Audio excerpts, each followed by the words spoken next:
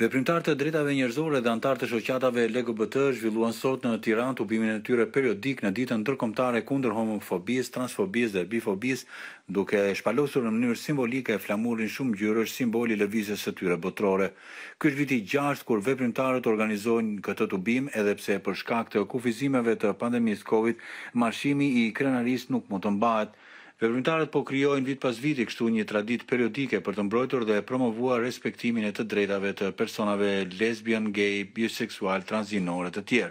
Shqipëria miratoi njëmbëdhjetë vjet më parë ligjin për mbrojtjen nga diskriminimi të personave LGBT, por sot ata vazhdojnë të përballen me dhunë, përjashtime dhe veçime si dhe krime të urrejtjes në familje dhe në komunitetet ku jetojnë.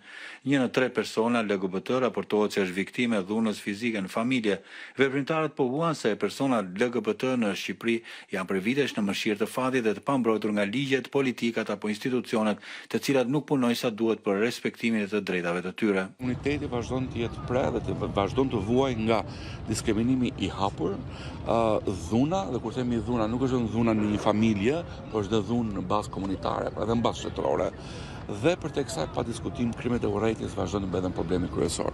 Në qoftë se do të shikonim, le të themi në copëza komunitetin, pa diskutim komuniteti transgjinor është komuniteti që mbetet më i paragjykuari, më i diskriminuari dhe më i përjashtuari. Në këtë ditë ndërkombëtare u publikua dhe një raport dhjetë vjeçar mbi shkeljen e të drejtave të njeriut ndaj personave LGBT, ku Shqipëria renditet e para në rajon për diskriminimin dhe refuzimin e tyre dhe si një prej vendeve më homofobe të Ballkanit. Raporti i fundit thekson se gjendja sociale e ekonomike e personave LGBT është tepër e rëndë dhe në shkelje të plotë të gjithë standardeve ndërkombëtare.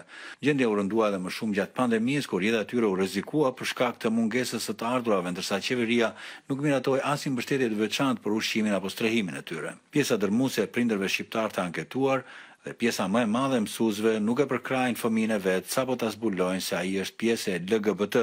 Sondazhet zbuluan që më shumë se gjysma e shqiptarëve besojnë se homoseksualët dhe lesbikët nuk duhet lënë të lirë të jetojnë ashtu siç duan vetë, ndërsa një e treta të anketuarve nuk pajtohen aspak me marrëdhëniet brenda të njëjtës gjinie, çka e rendit Shqipërinë midis vendeve më homofobe në rajon.